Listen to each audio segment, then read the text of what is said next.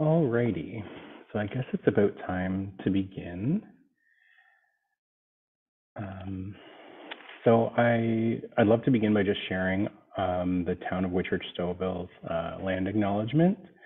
Um, so the town of Whitchurch Stouffville acknowledges this land is the treaty territory of the Williams Nations. It's also the traditional territory of other Anishinaabe peoples, including the Huron-Wendat and the Haudenosaunee. We also recognize the contributions of all Indigenous peoples to this place and commit to a continued dialogue and greater respect for the land we have come to share. This recognition of contributions and historic importance of Indigenous peoples must also be clearly and overtly connected to the collective commitment uh, to make the promise and the challenge of truth and reconciliation real in our community. Uh, I'm Tyler Durbano, and I'm so happy that you could all join us today to chat with Emmanuel Osahor, exhibiting artist um, who's presenting the solo exhibition, What We Tend, here at Latcham. Um, it's a wonderful exhibition of paintings, etchings, and sculptures, all recent work, and we're so happy to have it here at Latcham. So thank you, Emmanuel. Um, maybe I will ask uh, Maeve if you wouldn't mind uh, starting the slide deck um, so people can see some of the show um, while we chat about it. Um, Everyone sees see. it okay? Yeah, Yeah, we that's can- Perfect.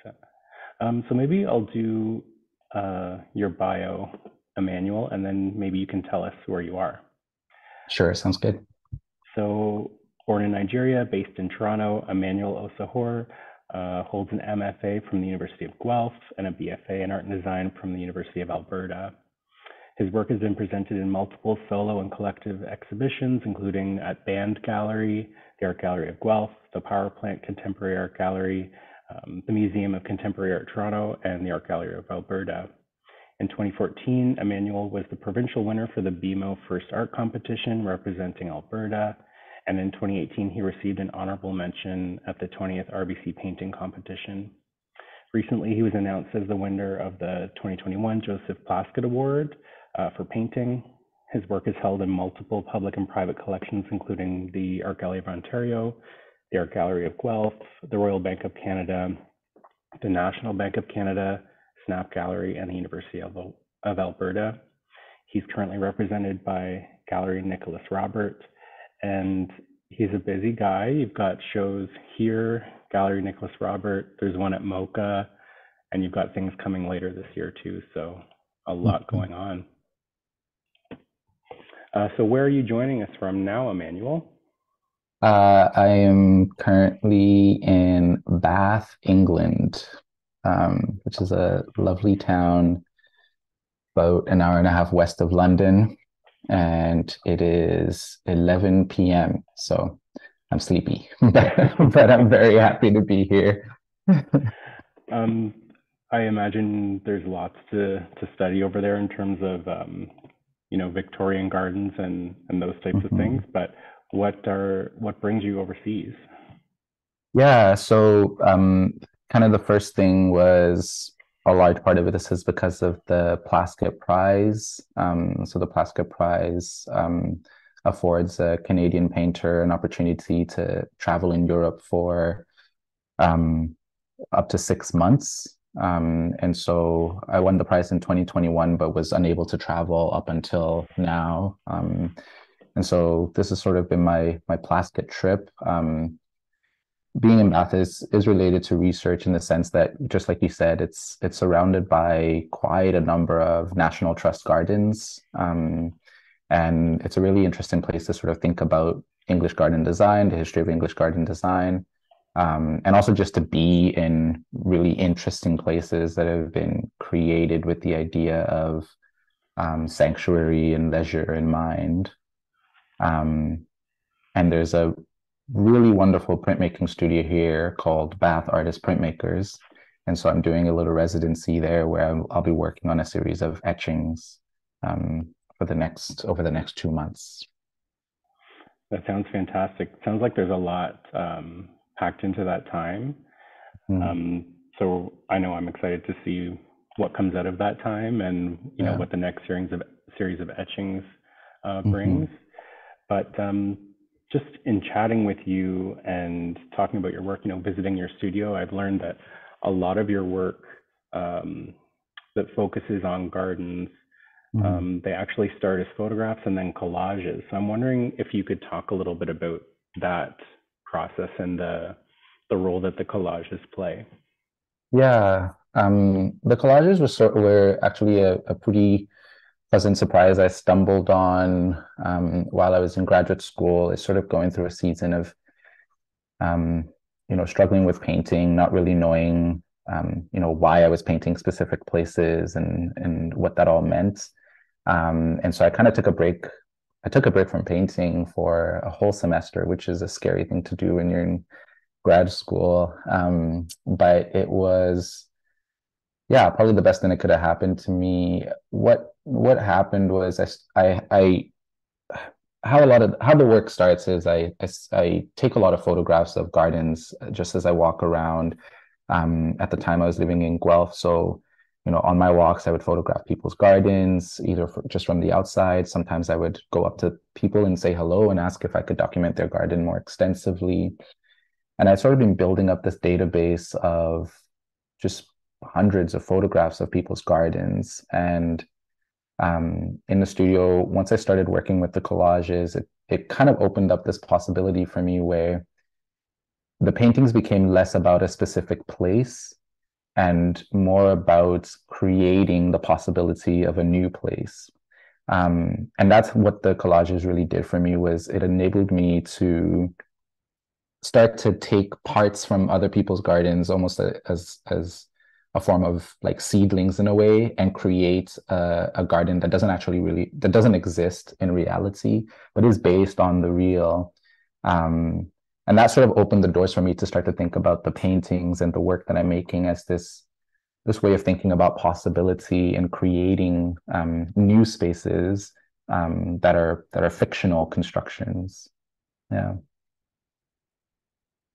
um, I love yeah. um, this idea that you know they're they are fictional places, but I can't help but imagine myself there, and I can't help um, you know because they've come from collages, from photographs. They have hints at these real places, but they don't exist in real life as they've yeah. presented in front of us. Um, Yeah.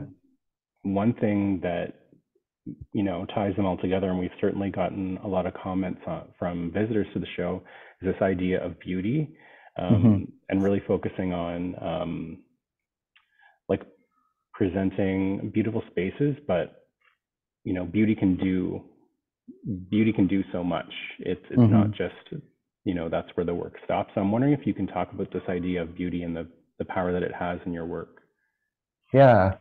Um, the just continuing off of the, the- you know, the you talking about the real in the in the paintings. I think something that I find really interesting about the work is that places can feel familiar, um, even when they don't don't actually exist. Um, and and that's something I think is is is really interesting for me with, with the work, where it's almost sort of like um, I construct this image, but then somehow I feel like, oh, I've I've been in this place, or I will be in this place, um, and and that ties into the the kind of pondering and thinking through beauty in the studio and and with this work. Um, I think probably the the best way to talk about it is like maybe going back a bit to even like why I take photographs of of of garden spaces. Um, and you know, this was something that kind of like took me a while to understand because I was doing it as a almost sort of like impulsive action. I was spending a lot of time, you know, photo. I would, yeah, I would. I was make, taking a lot of photographs and didn't really know why until through conversations with a friend once I kind of realized like, oh, it was you know, stopping to look at these things was almost a form of and a way of taking care of myself in the midst of, you know, reading the news in the midst of um, dealing with things in life. It's sort of like you stop and you appreciate something beautiful, and it it it was a um, it was something I was doing subconsciously, not really realizing why.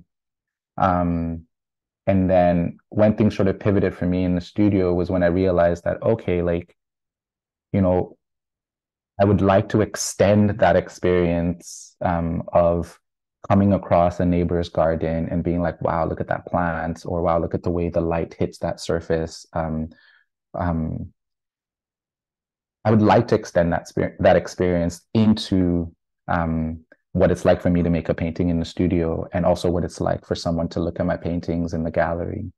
Um, and that really got me sort of thinking a bit about, and it's it's it's what I'm I keep um, it's what I'm um, continuously pondering is just sort of like, you know, we live in pretty trying times um, for a num- number of reasons.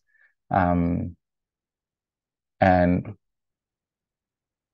on the one hand, sometimes it feels like a frivolous thing to sort of be like, hey, can we stop for a minute and like recognize the the beauty um, in our lives or recognize the beauty in each other?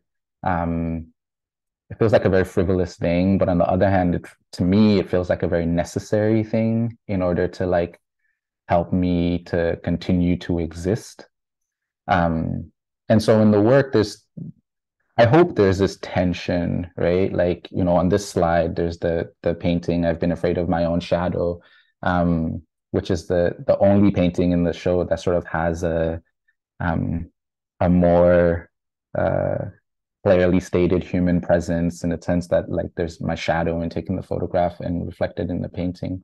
Um, but it's quite a dark um, painting it's quite a dark piece. Um, there's some sort of scraping and there's some uh, fragility in the material um, when you're looking at the work. And so yeah it's there's this tension right? Like you're you you sort of or at least i sit with this tension of recognizing and and understanding for myself the necessity for pondering and creating space for an experience of beauty. Um, because of um, the realities of heavinesses that many of us are dealing with and sitting with. I, it's a very long-winded answer. no, well, in within that answer, you touched on so many things, and um, you know, the first thing that resonated with me was this idea of you know appreciating something beauty or beautiful um, our first impulse is to think that it's frivolous but mm-hmm. in reality you know these days it could that couldn't be further from the truth i mean mm-hmm. um, i know that some of your work touches on um, you know beauty as um, you know crafting beautiful spaces and presenting them here as um, like crafting an ethic of care um, mm-hmm. for for marginalized communities. Um, mm-hmm. Today, actually, though, I am thinking about what's going on right now with all the wildfires that are all over Canada yeah. and North America. Um, yeah. The anxiety of that, of listening to it on the radio on the way to work, seeing it on TV after work, um, smelling it in the air, there is yeah. a real, um, almost involuntary um, reaction to your show of this like hmm. calm mm. that comes over you that's ne- like that's necessary to yeah, that anxiety so i think there is like the beauty in this way can often be um, underestimated and i think your your show does a good idea or does a good um, job of showing the power of it yeah like something i think about a lot is like yeah like i think in like artist statements i've sort of said like beauty as a necessity for survival and a precursor to thriving and mm. and it's sort of like yeah honestly there are days when i get into the studio or you know I, I try i have a bad habit of like waking up in the morning and the first thing i do is i read the news. Um and oftentimes i'm just like well you know better just go back to bed. Um but yeah there are days that i go i go into the studio and it like yeah it's heavy. Um and and i don't the work isn't yeah it's it's you know i think about what what might be necessary um what do we need in order to begin to in order to sort of get to a place of i don't even know what you would call it but a place where you can actually reflect um, a place where you can actually start to think a place where you can actually start to piece things together, a place where you can actually start to say, what do I want to keep? What do I want to remove? A place where you can actually sort of like, I feel like for me, when a lot of this work started, I was in a place of just intense anxiety. Um, and um, I started gardening, uh, and that that really helped. Um, having these moments where it was almost sort of like, you know, the thoughts kind of slowed down, and you can start to sort through it. I don't think the work, you know, can propose any answers. I don't. I don't. I don't know any answers, even myself. Um, but you know, what does it look like to create a space that I can and hopefully we can collectively gather around and and start to sort through these things or not start to because we already are but you know a place where we can do it yeah and i use the word like a place to gather um, mm-hmm. And start to sort through these things and you you already sort of touched on it with the um, the painting i was afraid of my shadow but mm-hmm it, so much of your work um, shows traces of human involvement in the garden in some way, but there there are no humans. And I was wondering if you could touch on that. Mm-hmm. That maybe it's a deliberate choice.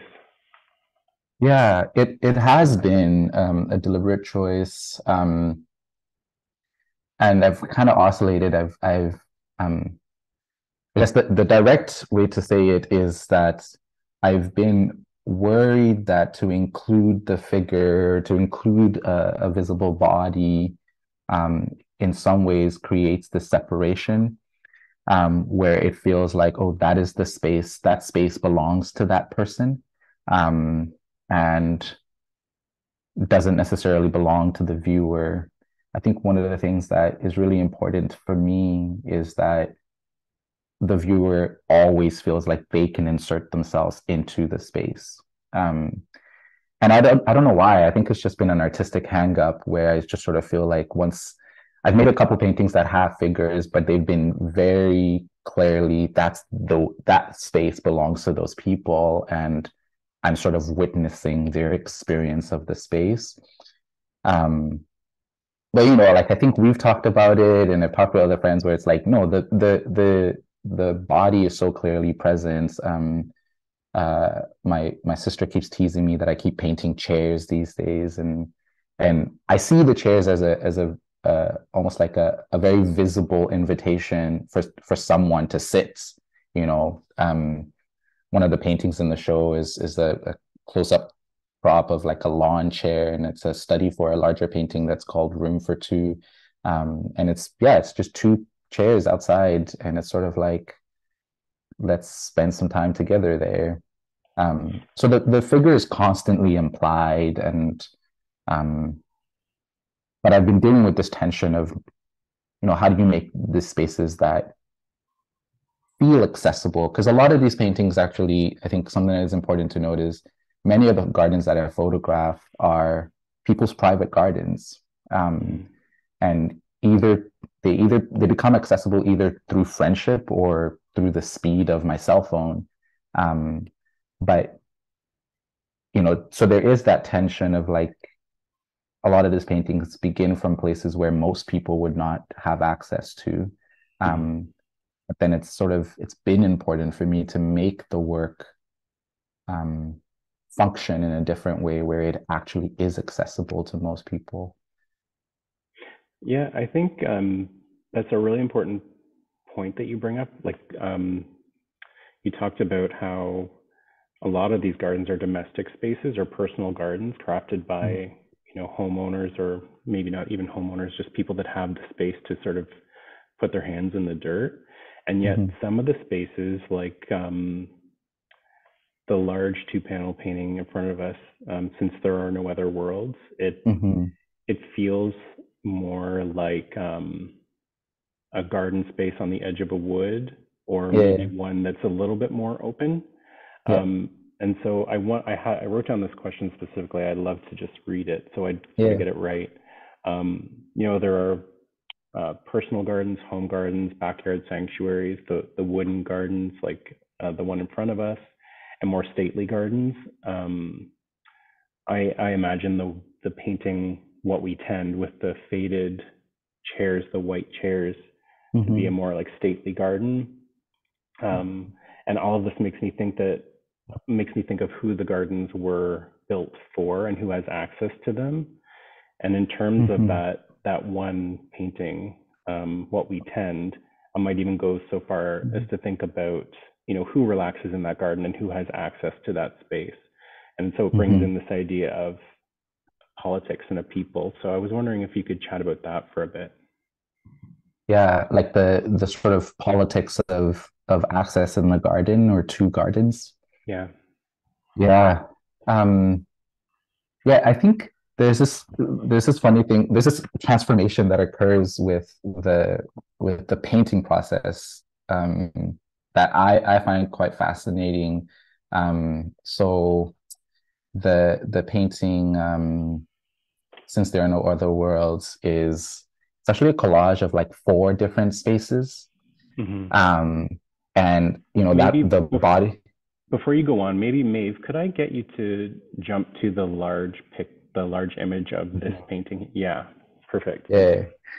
Um, yeah, it's like it's a collage of like four different places. Most of them were sourced in Guelph, and then the the body of water, um, you know, was a, a patch of grass and and you know, in in the collage, I was like, huh, I wonder what it would feel like because you know, um, in in larger gardens, there actually not in larger gardens, in most gardens, there's there's a body of water, um, and it's sort of this uh, in in romantic painting, um, the body of water was the strategy to that was used to direct your eye and move your eye towards the horizon, um, and so it's playing with this technical, playing with that in this painting, um, and then at the end, the painting it's like I I was I was stunned by the painting because it was like, oh my gosh, this is this, like you said, it looks like this wooded, vast landscape that came from very actually private, like dense and private spaces.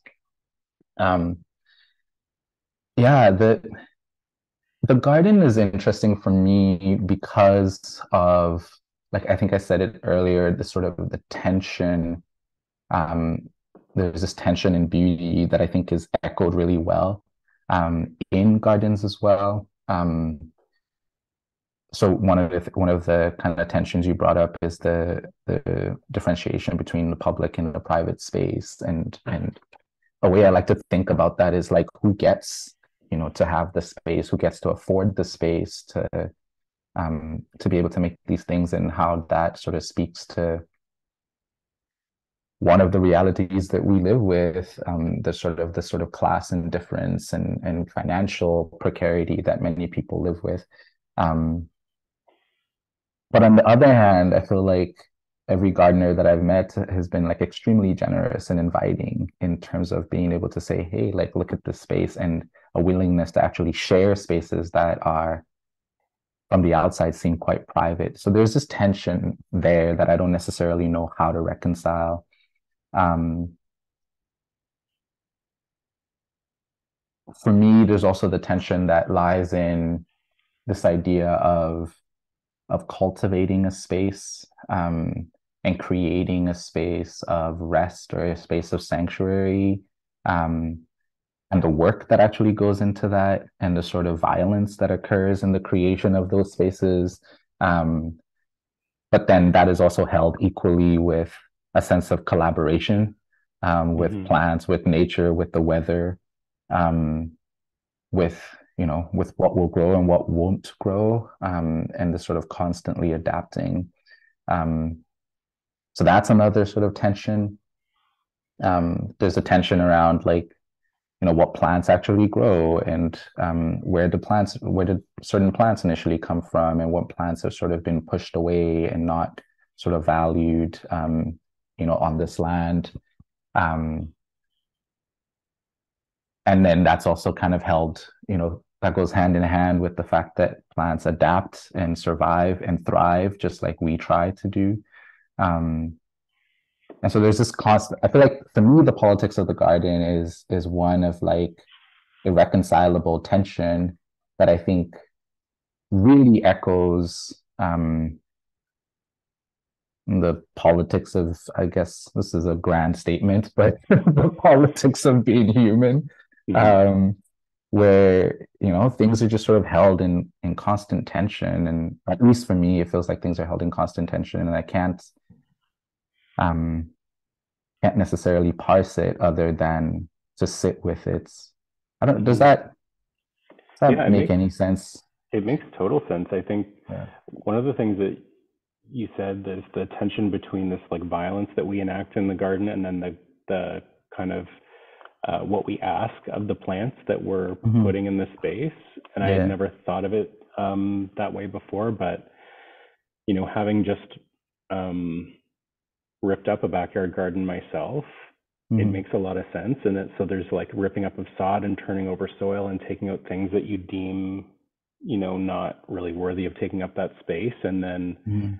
also planting something that might have come from a nursery that's so small and just almost willing it to take up more space. Like, oh, this Yeah. lavender will fill in This whole area. yeah, we'll we'll let it do its work. We'll just put it there Yeah. for now. And Mhm. That you're right. The tension is there if we're if we're willing to just stop and look for it. And um, Mhm. I I love that the work in this show and like all of your work doesn't necessarily point to direct answers. It allows us to come to that understanding as we as we will. Yeah. Um, Yeah. yeah, it's a Yeah. beautiful thing. Yeah. Um, a lot of the a lot of sort of the like gardener artists that I've been like sitting with as I've been thinking through this work. Um, like there's um there's a writer, an American poet named Ross Gay, who just like every time I I read their work, I'm just like, they they said it best. Why why do why do I even try? Um, but I try because I think I'm in a conversation with them as well. But um, uh, has this book that I read recently called Inciting Joy, um, in which he actually talks about sorrow and grief as not being the the opposite of joy, but almost being the the the thing that brings joy into existence. Hmm Um, so joy isn't the absence of of sorrow, but joy is a, is an awareness of of something because of an acknowledgement and a, an intimacy with sorrow. Um, and I find I find that you know that I find a lot of beauty in that, in just sort of being like these things are constantly held hand in hand, and um, to sort of not acknowledge that would be to lie in a way, um, or to um, to minimize something. Um, hmm I was so happy when you introduced me to the work of Ross Gay, um, and I've been thinking about this. Uh, there are other um, there are other book. I forget. I'm forgetting what it's called, but like the Book of Delights, like where they wrote Yeah, a yeah, yeah, hundred the- yeah, the. Book of Delights. Yeah, like that to me. Thinking about that was like I can't believe I never thought of this before. W- would you Yeah. mind just explaining the the ideation behind that book? yeah. So the Book of Delights um, was is a collection of short essays written by Ross Gay, and um, yeah, I- I mean everyone should read it if you when you have time. Um, basically, Ross set an intention for himself where from one birthday to the next birthday, you know, if if it wasn't too busy or whatever, but every day he tried to write uh, a short essay about something he delighted in that day. Um, and for him, that was he talks about it as being a way to train a delight muscle. Um, and I really resonated with that because, you know, I think a, large part of what this work is trying to do is to train a delight muscle. Um, um, in recognition of the fact that I think my anxiety muscles are pretty well honed. Um, my fear muscles are pretty well honed. My sort of impending doom muscles are pretty well honed.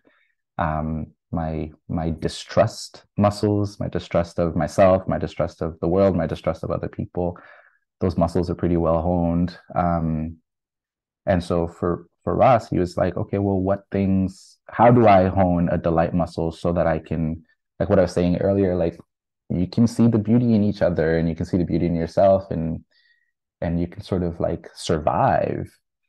Um, but again, like when you read this book, like there's certain moments in the book where you're like, this is a delight.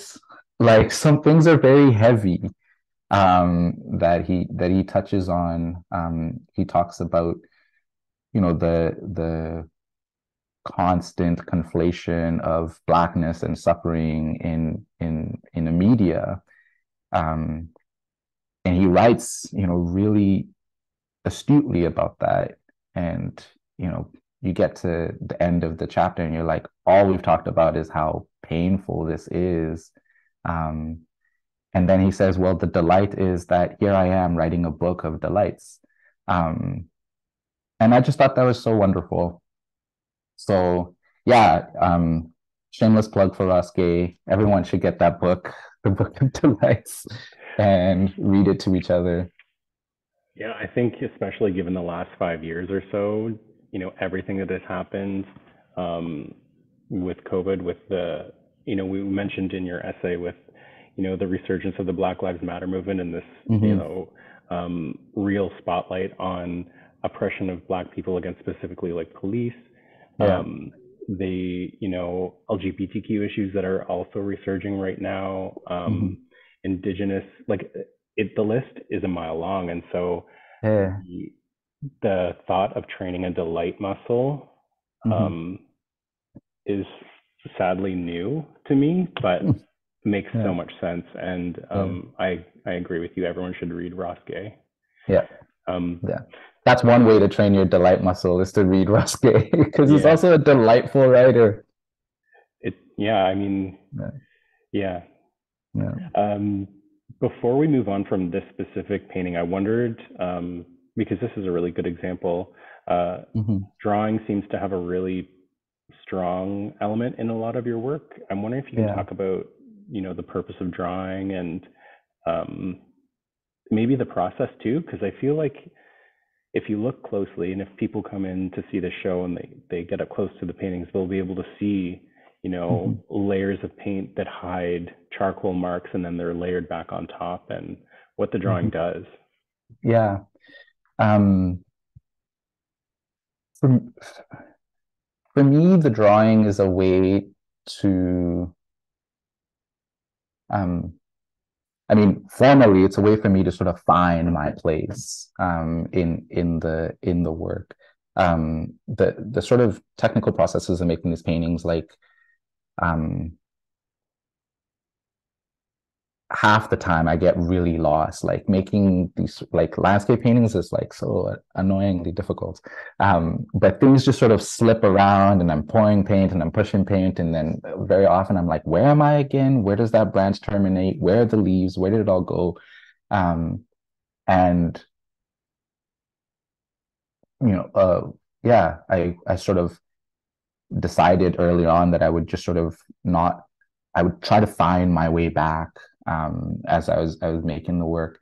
Um, so then the decision to leave the drawn marks um, for me felt like a, a, a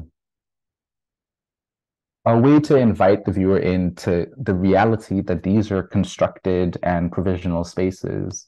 Um, like you know, this painting, for instance, is seven and a half foot by twelve feet, and you know there is the possibility that you sort of see that and you're like oh my gosh it's it's this grand thing that is almost too good to be true or whatever. But then you see the fact that it's like you know it's slipping away it's falling apart it's cracked in areas um, the the drawing is hesitant in some areas in other areas it's a bit more assured but you you see that it's a made thing.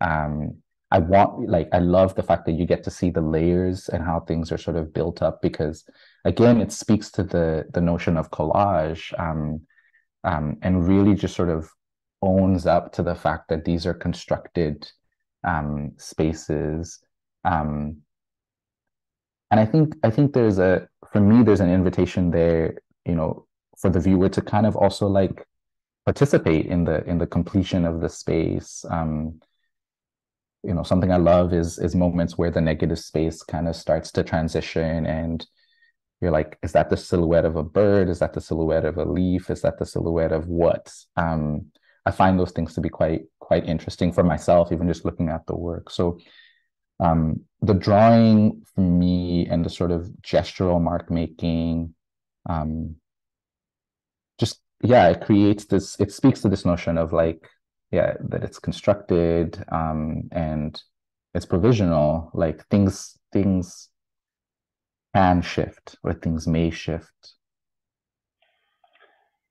I think um, Maeve, maybe if you could go to the painting to see the dawn, the second largest uh, work in the show, because it really sort of it touches on something that, or it shows something that you just talked about was this idea of things, um, pieces in the paintings that might have been laid out first, but are actually at the very top of the work. So, mm-hmm. um, in the top right hand corner, there's a you know why what I see to be a tree trunk with a this like beautiful spot of light, but really yeah. there's and it's so close to the surface of the painting, but really I feel like it was one of the first layers that you put down. There's just a few washes there.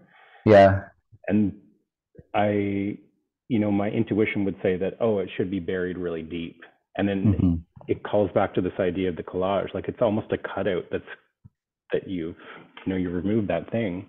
Yeah. Um so I'm wondering if you can talk about that, the say the cutouts in the work and this idea yeah. of leaving something maybe intentionally vague so that we can fill in that blank spot.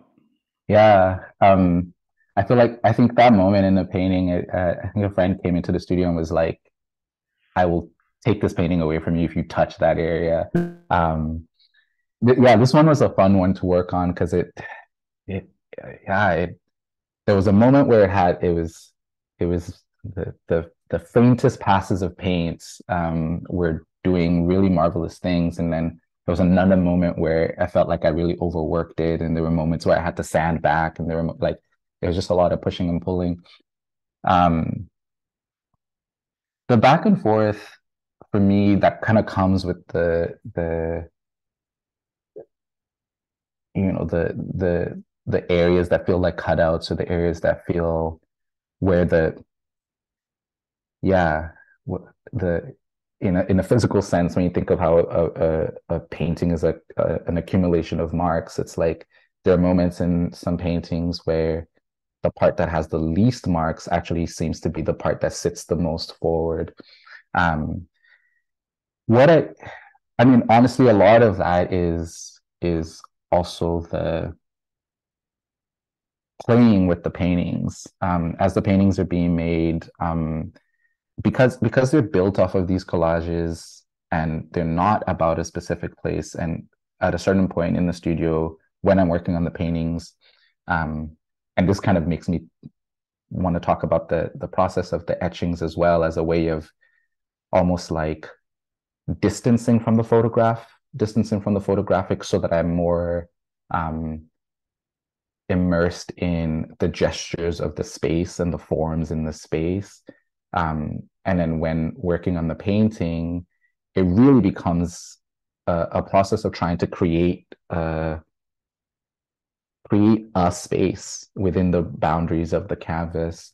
Um, and I feel like as the as the work evolves, it starts to create its own rules, right? Like it starts to say, here's where the foreground is, or or here are the moments in the painting that are actually the the most high key and here are the moments of the painting that are actually the deepest shadows um, and oftentimes that that deviates in a, an extreme way from where the photographic source actually came from or even what the etchings were doing um, i like to think about it as like literally gardening on the canvas like you're pushing and pulling pushing and pulling and when it works it works um, and I don't always know why, other than formally it's resolved. Um, and the space is operating in a way that um, feels authentic to itself. Something about that movement, um, and like when I say that it feels authentic to itself, I think what I'm trying to get at is you know that feeling when you're like in a garden and you know there's lights and you're looking at something but there's also wind and there's shadows that are being moved about because of the wind that's moving trees. But you know how like when you're looking at something in the garden you're also very aware of everything else. Mhm. um it's almost like yeah like the thing you're looking at only exists because of everything else around it in a way. Um and there's this to me garden looking does not feel like uh, a pointed thing like all you're seeing is this. It's sort of like you're seeing a your your sight is being informed by many things.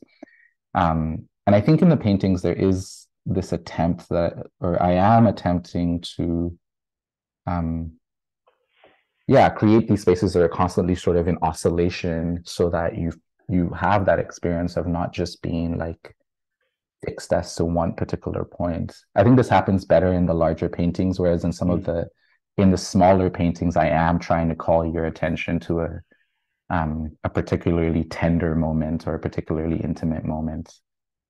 Yeah, I definitely, I really feel that, especially when I stand in front of this painting. And um, since there are no other worlds, I, I feel a sense of movement and like I'm seeing, I am experiencing it more like I would experience in a garden, where you know the Mhm. light coming through Yeah. a Japanese maple sort of um, influences how you see the plants below, and it's constantly Mhm. changing, and you're really aware of the light and Yeah. the the sort of arrangement of things. Um, in a different way, I look at the etchings as a little bit more like just as beautifully intricate, but a little bit more um, still. yeah They, they um, and so maybe Maeve, if you could show us uh, the etchings, that would be really wonderful. Yeah. Um, They could you show us the full wall of etchings if you could? They have this way of like quietly providing a path in the Mhm. gallery. So that one wall, when you walk in and you look at these incredibly ac- or, um, detailed etchings, and you walk across the wall to take them all in, it's almost a path, like a, a Yeah. unpaved path, and then you turn around and you're you're really in a garden. And because of the fountains, there's you know there's sound, and the fountains kind of extend the larger paintings into into 3D space off the wall. Yeah. Um, I wonder if you could talk about the etchings. A lot of people had uh, that were here at the opening had questions about the sugar lift process. Mhm. Um, could you talk us through that? Yeah. Um, so these etchings, I I made them in collaboration with a, a printmaker in Toronto named Gideon Neve, um, and that was just a blast. Uh, I like I'm in Bath uh, doing a printmaking residency. I love painting. I spent a lot of my time painting, but I feel like printmaking is like really my first love. Um, and the reason for that being the the process creates opportunities for a sort of um, collaboration with chance that I find very productive. Um, and so, for instance, like the sugar lift process is this process where you you're working on a copper plate and you basically mix up a simple syrup with some India ink um, and maybe some dish soap to to make to kind of break the uh, surface tension. Um, other people use other things, but basically sugar. You use sugar, and you draw on the copper plate with that, and uh, you know, yeah, I won't get super technical, but you draw with sugar on a copper plate, and you coat it with a, a sort of resist and you soak the copper plate in hot water and the areas that have the sugar will lift. The sugar crystallizes, so it doesn't lift in like a smooth pattern. It lifts in this sort of irregular, dotted, gritty um, pattern. Um, and you never know how it's going to turn out. You never know what your ground is actually going to look like um, until you etch the plate and you sort of see the results. So these these etchings, working with sugar lift, and then it, it kind of creates this process where you know things go too far or things don't go far enough um, and you're sort of like constantly navigating, moving back and forth, moving back and forth, which again to me feels like a gardening process of sort of being like, ah, I got to trim that hedge, oh, I got to push this further, or oh, this isn't going to work. How do I sort of um, how do I make the rest of the space work in relation to this part that I know I can't push any further, but um, you know, how do I how do I adapt? Um, and so so that that's sort of the I guess the the conceptual interest for it, as well as like I, I really love the fact that we were able to show the etchings in relation to the painting because a lot of the the sort of gesture and the mark making um, and yeah the gesture of the drawing a lot of those a lot of those things are sort of bound in the etchings.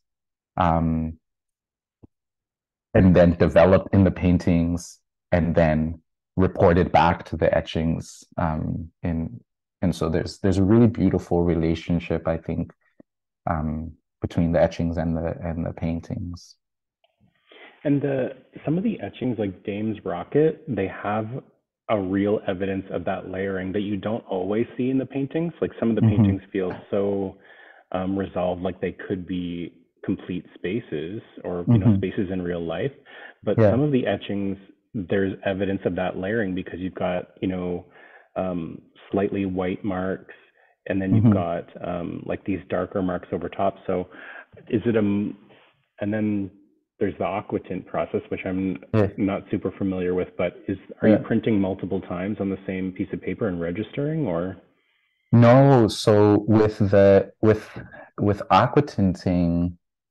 um, and this is why I love uh, etching um, because you can you can on the same copper plate you can mix in multiple kinds of marks.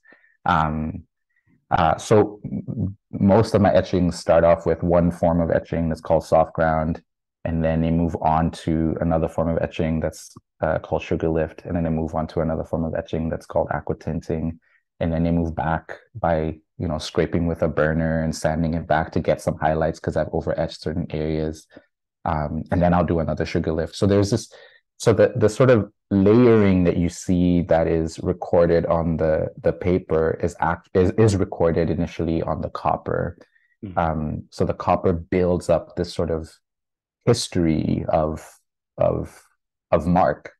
Um, and then you can then addition that and sort of replicate that history like over and over and over again. Um, but it is it is a an accumulation of uh, yeah, it's an accumulation of of data of mark making. You know. Um, I'm conscious of the time. It's almost midnight there, so I want to just mm-hmm. quickly touch on um, the fountains. You you talked yeah. about this relationship that the etchings have to the paintings. I'm wondering how. Mm-hmm um, the fountains factor in for you? Yeah, no, you you put it beautifully. Um, they are a way for me to extend the world of the paintings into the three three D in the into the three D to the three dimension, whatever the English is. um, uh, to yeah, to bring it into the viewer's space. Um, you know, going back again to this idea of really trying to figure out ways to invite the viewer into the works.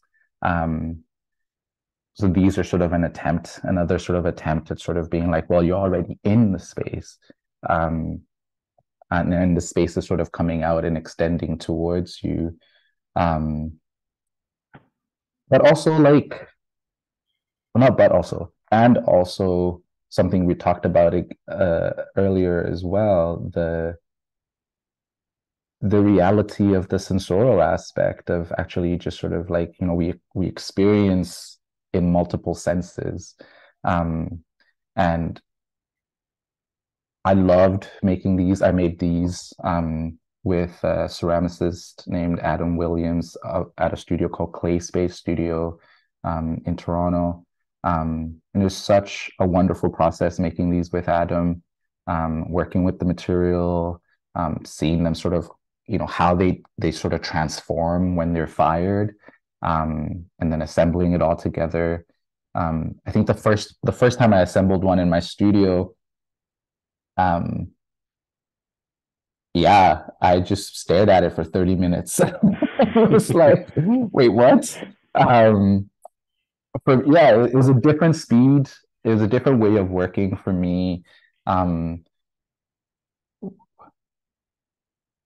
so yeah, there is this relationship where they extend the space of the of of the painting, but I think they do offer something, just like the etchings offer something different, the paintings offer something different. These also offer um, a different sort of a, a different pace of looking um, to sort of really think about the gestural marks that are on the surface, like like we're seeing in the image above.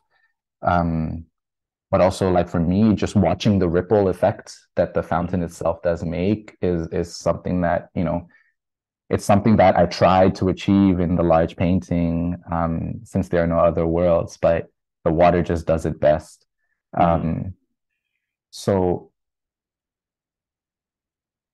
like yeah i i i as much as i'm very happy um, that I'm in Bath and I really love everything that's happening now. I really wish I could be in Stouffville to sort of experience this um, because it really is, it's, yeah, it's such a gift to sort of bring these three sort of elements of my practice together um,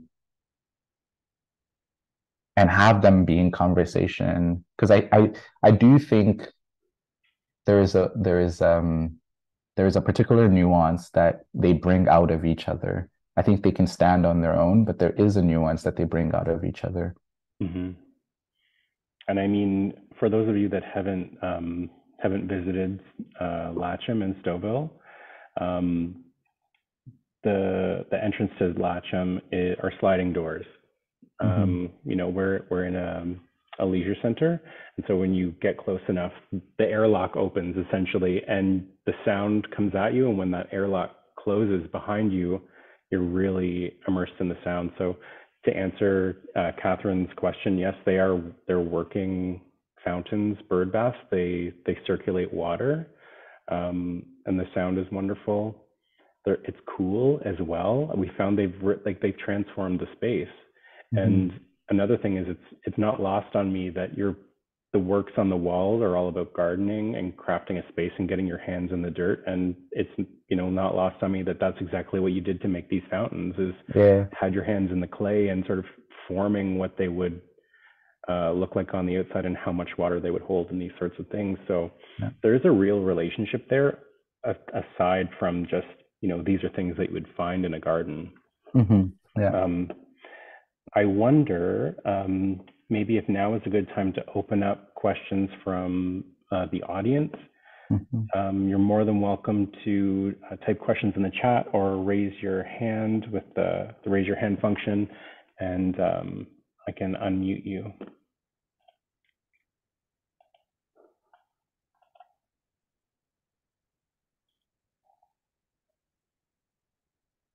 So um, we've got a question here from Francis who says, I look forward to seeing the exhibition. The word enchantment comes to mind, and it feels sympathetic to the many sensibilities you are discussing. Enchantment, mm-hmm. especially with the inclusion of the fountains and the added sensorial quality of that. Do you think about enchantment as it relates to aesthetics? Yeah, I don't I don't know if I particularly think about enchantment, but reading reading the question, the the the thing that comes to mind, and maybe this is a different way of saying enchantment, but something I I like to sit with a lot is is wonder, and and wonder as as a as a tool for possibility. You know, like to sort of be in a space where you actually have the capacity to to imagine and then it's like okay like that's you know that feels like step one and then from that space what sort of possible things can we imagine um, in the show in the work that i have on MoCA the sort of question I was asking there is like, what does it look like to imagine the possibility of a good future? Um, and I think I think you know, wonder or and enchantment sort of can be a, a useful um, instigator for that. Yeah, I'd say that that would be how I, I, I think about it. And sort of drawing like riffing off of that, it seems like wonder and enchantment are sort of running parallel to this experience that you were talking about, where the painting, as you're in the middle of making it, sort of tells you how it's supposed to be Mhm. made, like what it requires, and it takes you in this like amazing direction that you maybe didn't think it was going to go in. So it seems like it's maybe it's almost baked in. hmm hmm And and it's it's it's also what draws me to um photograph a space in the in the first place. You know, it's sort of being like um again, like to use the word enchantment, right? Like um wow, that light is incredible. What the heck is that plant? Um, or I've seen that plant before, but not like this before. Um, um, there is this sort of, yeah, there's an invitation in that. Yeah. Yeah, Yeah. So we've got a couple um, questions here, people raising their hands. I'm gonna uh, ask Karen if she'd like to um, unmute and then they can start their video. Did I not say the right thing, Tyler? I think I hit. Oh no, you. It's good to see you, by the way. Yeah, we can Can see you you. see Can hear you. Good to see you. I can't see myself, but I if I tell you the machinations to get on this call because I was supposed to be here at home for something, and so I started on the computer, then I jumped to the phone. So I was listening to it. It's kind of nice to hear your soothing voices on the drive home, and I'm sitting in my house. you know, uh, um, one, I have to come and see this show because in hearing the conversation about the work, it's kind of your last comment, um, Emmanuel, about the relationship between these different pieces, because I, Mhm. I know about the your interest in each medium, obviously the um, large scale gardens because of the show we did at Band.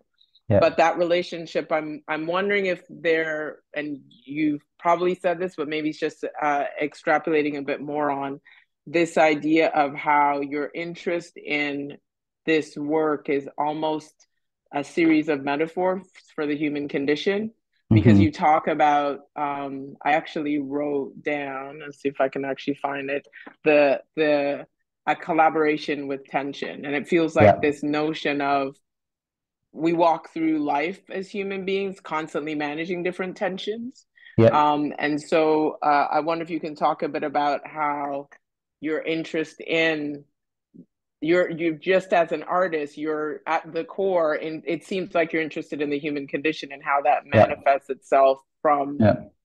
these different works and then the collision of all Yeah. of that in this particular place and then the other Yeah. part of that and it, i guess just to comment on is if you're anticipating um, the time in bath maybe impacting where you might go with Mhm. not just the etchings but also your painting like you're there as you're saying for the printmaking but Mhm. how do you think the printmaking might influence your painting and having this opportunity for this kind of immersive work Yeah, I also good to see you.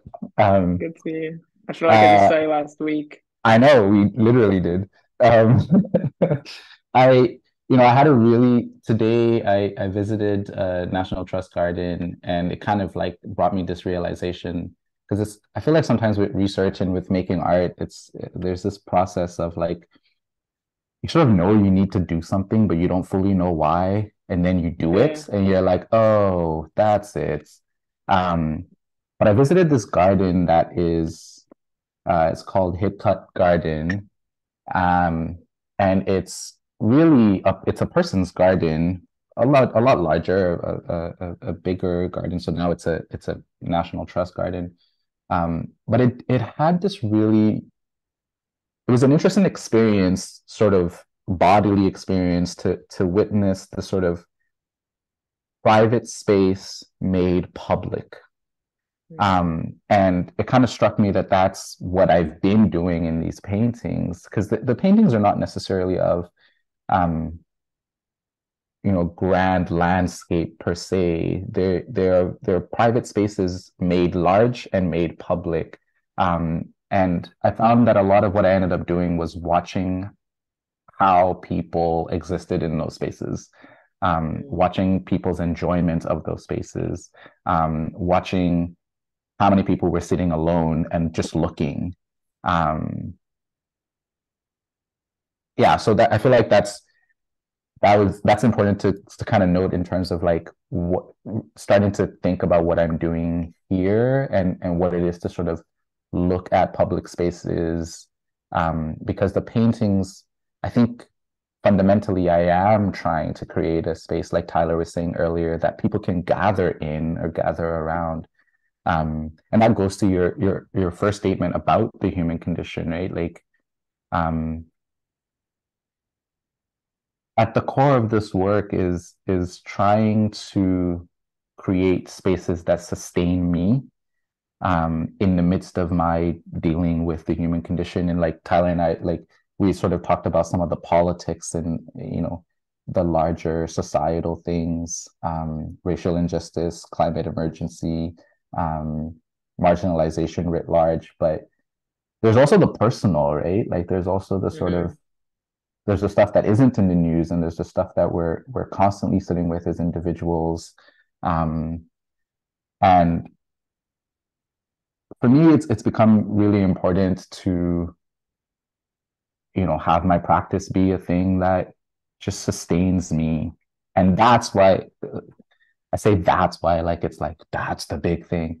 But that's a large part that's a large part of this this emphasis on on on beauty this sort of intention the intention to sort of um think through um what yeah what what is this act and what is this need to create um sites that um are beautiful? And in that it's important for me to say that fundamentally for me in the studio i have to find the work beautiful beauty is subjective i don't know that other people will i hope um, I hope they don't find it appalling. Um, and if they do, if anybody does, I'm sorry. Um, but fundamentally, the work is for me, and in sort of it's sort of my attempt at sort of holding myself. But then, you know, we live in communities, and so then embedded in the work is is an invitation and a sort of um, a hope that it's you know the the show we did at band right? Like the hope was that the the the work would transform the space into a garden and people could come linger. They could come stay for a while. Um Mm. so i, I And they think did. yeah yeah which was which was beautiful right? Because you you extend the invitation but you don't know what will happen. Mhm. yeah. So yeah. Thank you. yeah.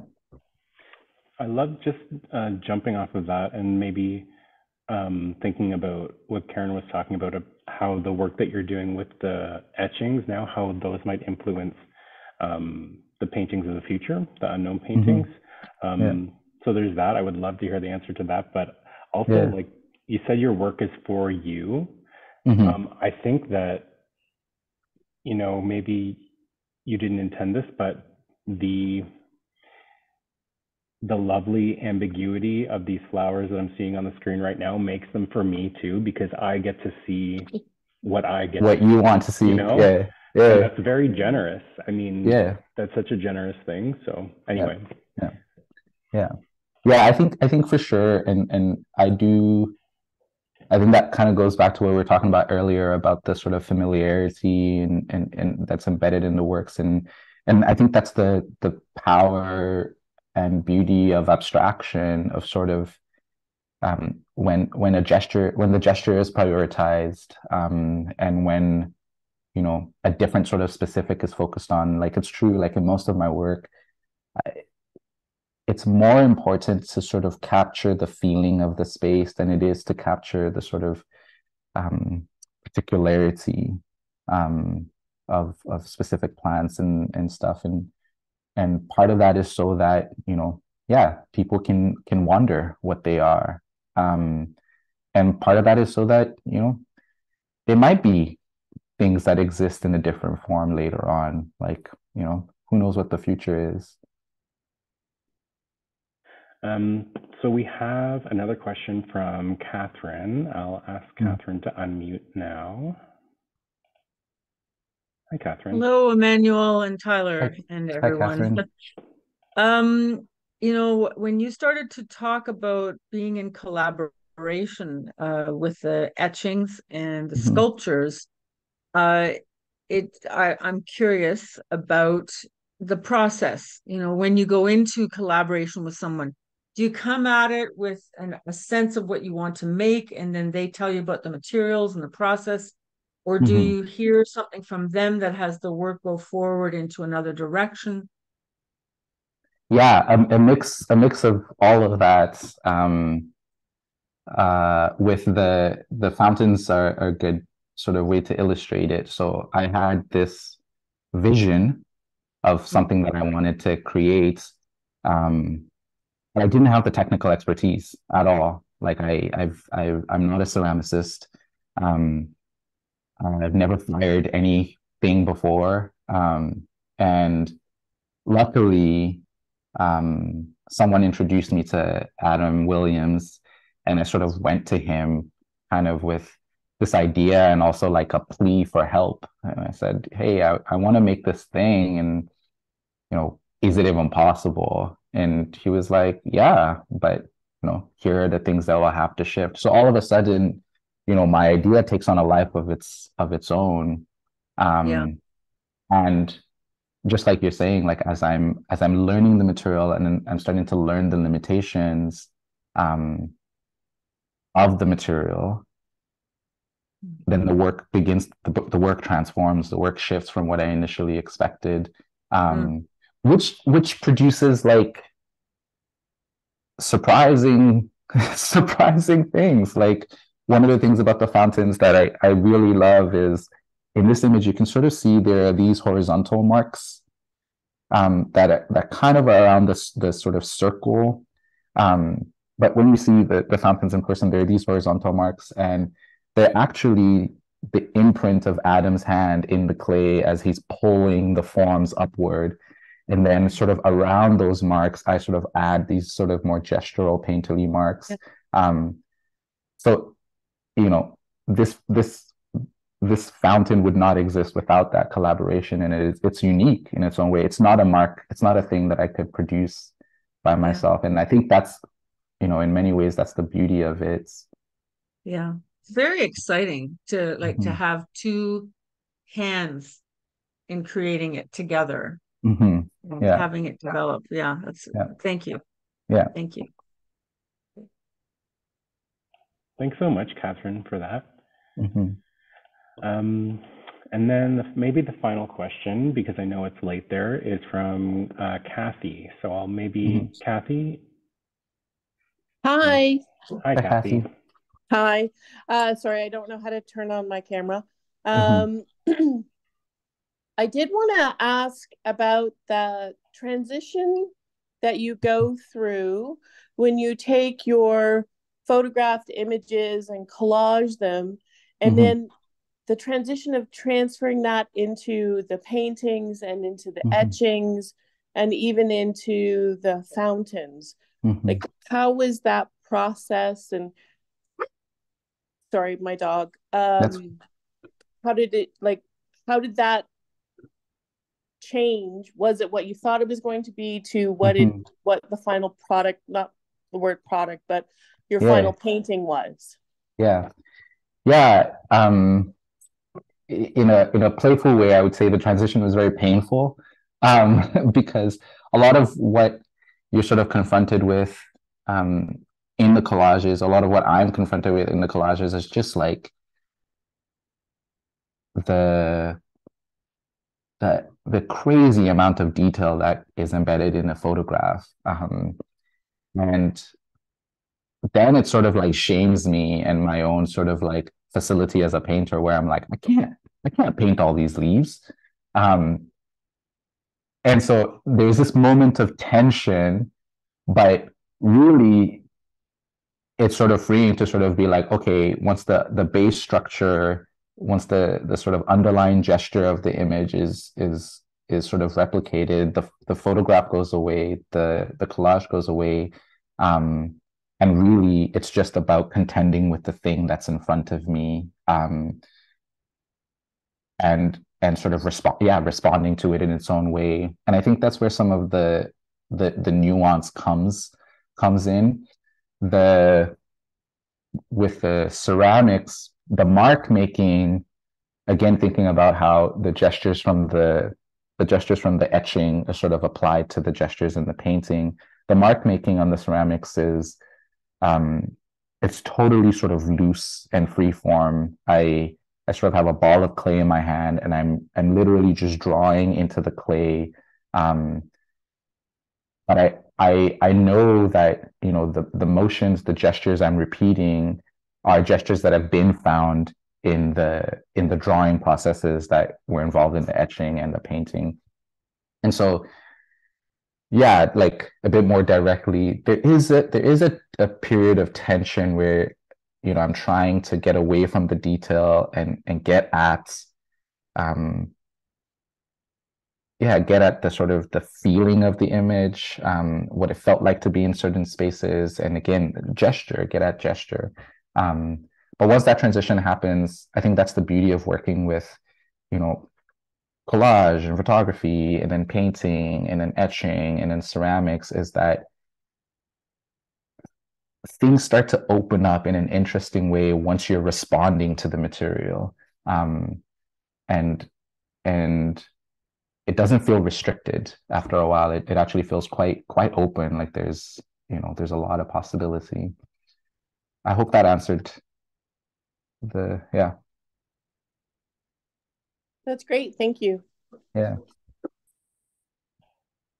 Well, maybe that's a good place to end. We're we're nearing quarter after. Um, hmm so I just want to say, you know, thank you to you, Emmanuel. Thank you to everyone for joining us. Um, and there's a few, I know there's a few people like the Town of Whitchurch Stouffville, Canada Council, Clay, Pace, Play Space Studio, who you were talking about, helped you with these pieces. Um, Yeah. Um, Gallery Nicholas Robert for helping facilitate the show as well. Um, Mhm. Is there anyone you wanted to thank or anything, any last things you wanted to tell us about? Well, uh, if if folks don't mind, if anyone is willing to just throw your face up on the thing, thank you for being here. It's really um, it's really lovely to um, have a conversation um, with you, Tyler. Um, um, thanks for the wonderful questions. Um, you know, you make art in the isolation of your studio, and a lot of times you think no one cares. So it's nice to see that 24 people care. I'm kidding but it's really lovely. Thank you. Thank you for being here. Thank you so much. And again, thank you to everyone who came. And um, hopefully, we can see you again and see you all in the space soon to see the work in person. Mhm. Looking forward to it. Awesome. Take care, everyone. Bye now.